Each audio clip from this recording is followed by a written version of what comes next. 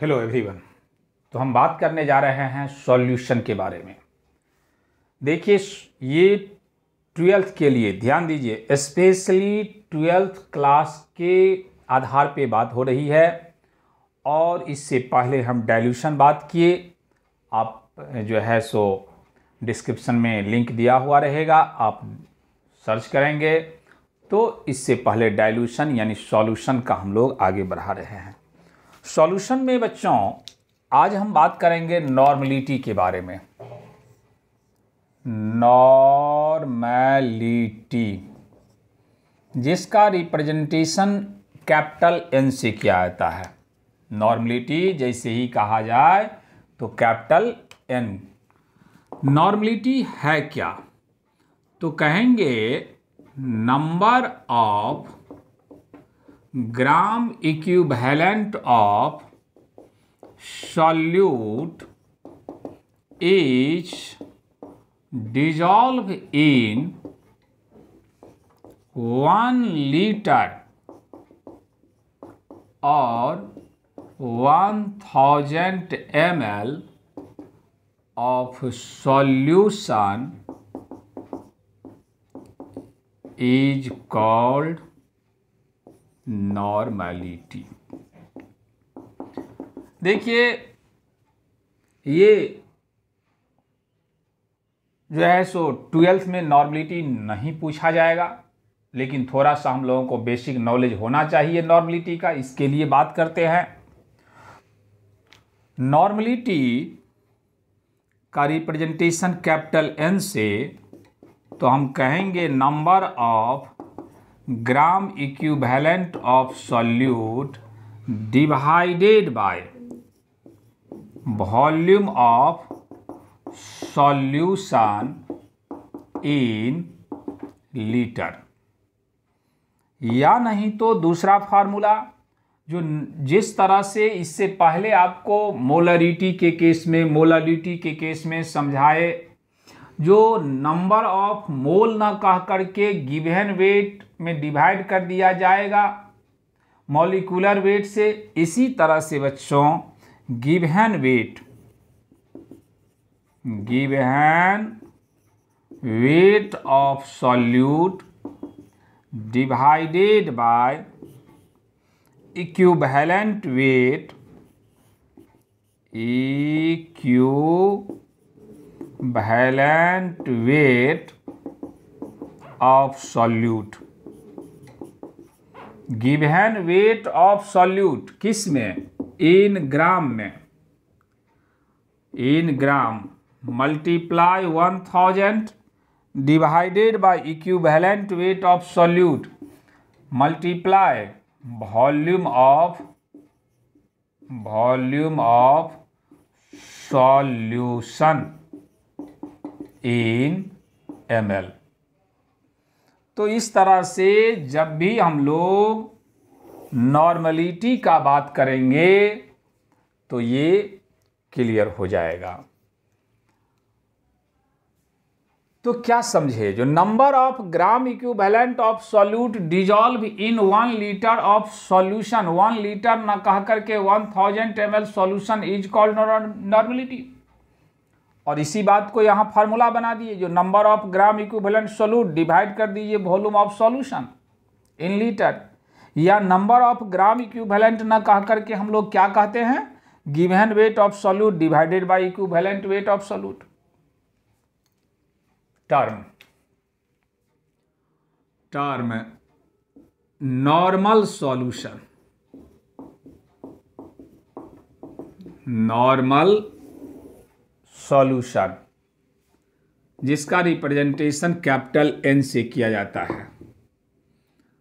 when one gram equivalent of solute is dissolve in one litre of solution is called normal solution क्या कहा जा रहा है जो when one gram equivalent of solute dissolve in one litre of solution आप one litre ना लिख करके वन थाउजेंड एम भी लिख सकते हैं तो उसको नॉर्मल सॉल्यूशन कहा गया सेमी नॉर्मल सॉल्यूशन तो ट्वेल्थ के लिए इसी तरह से डिफिनीशन लिख लीजिएगा हम छोटा में सिर्फ समझा देते हैं क्या कहेंगे half gram equivalent in one litre solution ठीक उसी तरह से डेसी नॉर्मल सॉल्यूशन यानी एन बाय क्या कह दें टेन यानी one by ten gram equivalent of solute in one litre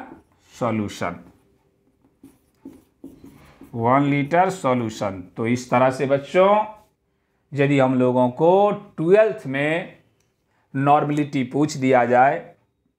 वैसे ये चांस बहुत कम बनता है लेकिन एक बार पूछा गया है ये भी बात सही है तो जैसे ही हम लोगों को नॉर्मलिटी पूछ दिया जाए तो इतने हम लोग एक्सप्रेस कर देंगे चाहे आपको दो मार्क में पूछे या पाँच मार्क में पूछे या तीन मार्क में पूछे आपको इस तरह से एक्सप्रेस कर देना है चलिए इस पर हम लोग कुछ प्रॉब्लम कर लेते हैं जो एन e का प्रॉब्लम है अब आपको हम नॉर्मलिटी मोलरिटी मोलालिटी परसेंटेज सभी क्लियर कर दिए हैं तो सभी से रिलेटेड प्रॉब्लम ले लेते हैं तो चलिए हम लोग अब बात कर लेते हैं प्रॉब्लम का एक इस पर एन सी में नहीं है बाबू ट्वेल्थ में when four gram of N A O H is dissolve in dissolve in two hundred M L of solution what is the what is the normality of solution चलिए समझिए अच्छा से क्योंकि ये ट्वेल्थ में नहीं है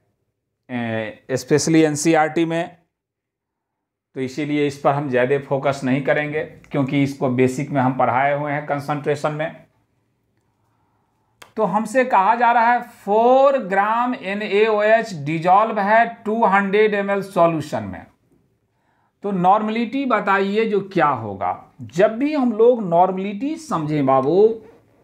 नॉर्मलिटी हमसे कहा जाए तो हम ये सोचेंगे जो हमसे ये पूछा जा रहा है जो वन लीटर सॉल्यूशन में या one thousand M L solution में बताइए जो कितनी ग्राम इक्यूबैलेंट है लेकिन यहाँ तो दिया हुआ है ग्राम तो समझिए नंबर ऑफ यदि ग्राम इक्विवेलेंट फाइंड करना हो तो given weight in gram divided by equivalent weight अब गिवहन वेट हमको दे दिया गया है फोर और equivalent weight N A O H का forty equivalent weight of N A O H कितना होगा फोर्टी क्यों क्योंकि एन का एन फैक्टर क्या होता है वन इसका एन फैक्टर वन और इक्विवेलेंट वेट जब भी निकालना होता है तो मॉलिकुलर वेट में हम एन फैक्टर से डिवाइड कर देते हैं एन फैक्टर मतलब यहाँ पे एन के केस में एसिडिटी के नाम से जाना जाएगा तो इसका एन का जो मॉलिकुलर वेट है ये 40 होता है एन फैक्टर वन तो इसीलिए ये 40 हो गया